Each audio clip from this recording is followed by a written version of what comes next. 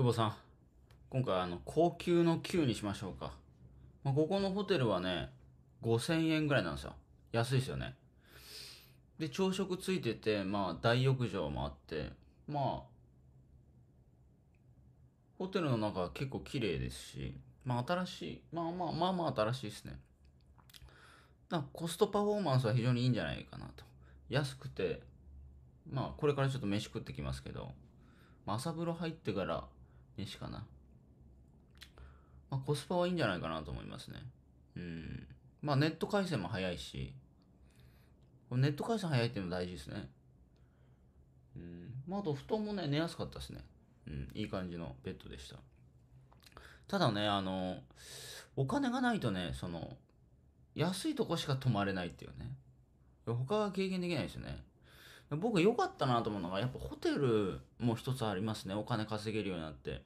やっぱあの、なんか旅行するとかなんか泊まるぞっていう、まあ今移動しながら泊まってるんで寝れ、寝れればいいと思うんですけど、なんか旅行するみたいな時は、うん、旅行が目的の時ですよね。なんか会いに行くとか移動す、移動してる時は僕は別に寝ればいい、寝れればいいと思ってるんですけど、その旅完全に旅行を楽しむっていう時はその旅館をねいい旅館とかあの泊まるんですけどやっぱね飯うまいしねやっぱねすごい部屋もすごいいいしやっぱあれはいいっすね。昔は泊まれなかったけどうーんやっぱ全然違うなっていうのは感じますね。うんそう。まあ久保さんもねなんかその旅行行く時そのおそらく昔はお金なかった時旅行も行けなかったと思うんですよ。やっぱお金稼げるようになるとね、いいっすよ。うん。やっぱ旅行結構わかりやすくないですか？うん。やっぱホテル選ぶ時にお金ないと、やっぱね、見る場所が違うんですよ、そもそも。お金がないと、なんか、その値段は絶対見ないみたいな。その値段の論外みたいな。もはや選択でいないからもう見ないっていう。だから大体お金がない、まあ僕も昔お金なかった時っていうのは、大体、まあマックス3万ですね。マックス3万とか。うん。だ今はね、マックス9万ぐらいまでですかね。まあ、10万を超えるのはちょっと、うん僕は、あの、まだちょっとダメですね。ためらいますけど。じゃ泊10万かみたいなね。一泊10万飛ぶかみたいな、なんかちょっとまだ貧乏症ですね、そこは。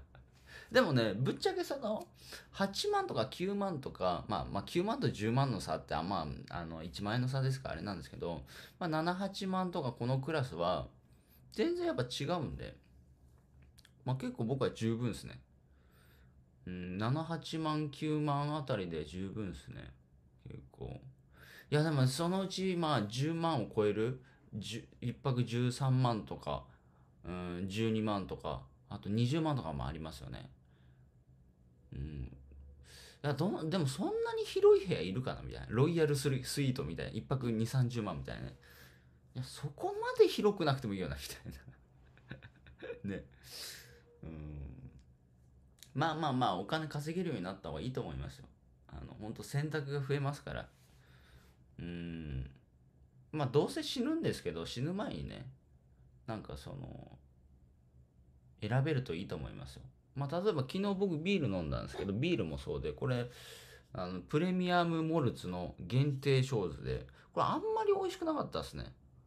希少ホップ酒。これ230円ぐらいだったんですけどまあこれもビールっていうのもまあ僕あの発泡酒もの全然飲むんですけど昨日はこれを選んで飲んでみたんですね。でもやっぱお金がないとやっぱもう発泡酒しか行かないっていうね。うんなんか選択ができないっていうのはなんか寂しいなと思うんですよね。